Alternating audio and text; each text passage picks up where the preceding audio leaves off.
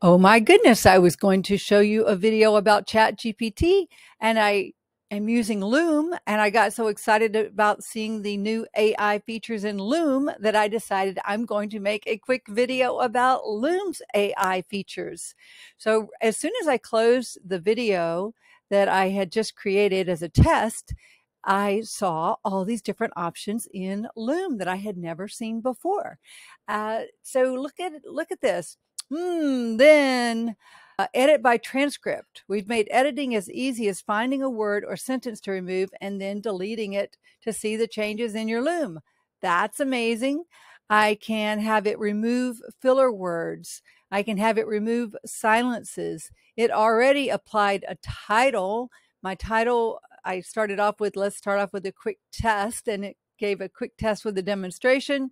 It already applied a summary and it didn't go into chapters. It was less than a minute video, nine seconds. So it didn't get into chapters. But look at this the edit by transcript. I just mentioned that feature.